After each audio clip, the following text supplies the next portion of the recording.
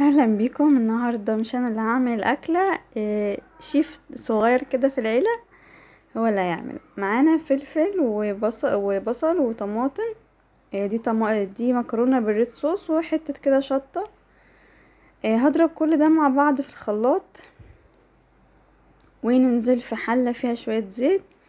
هنا إحنا كنا عاملين الكمية تلات أكياس مكرونة أو أربعة. هنا هي هتحط اتنين ماجي.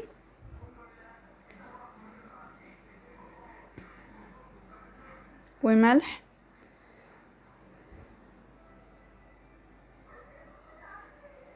وفلفل أسود.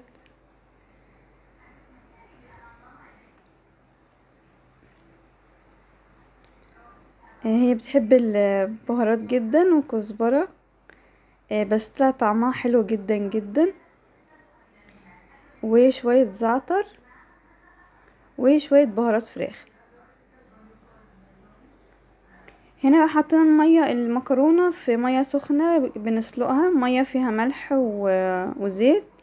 بعد ما اتسلقت بقى بنصفيها ونغسلها بمية عشان تبرد لأن عندنا الصلصة سخنة مينفعش نحط الاتنين سخنين مع بعض. هنا هي تحط معلقتين هريسة شطة. دي برضو اختياري بس بتدي طعم حلو قوي للمكرونة. خلاص كده التسبيكة اتسبكت.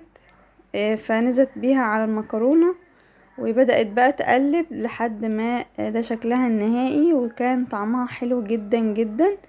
إن شاء الله تجربوا الطريقة دي وتعجبكم. bye bye.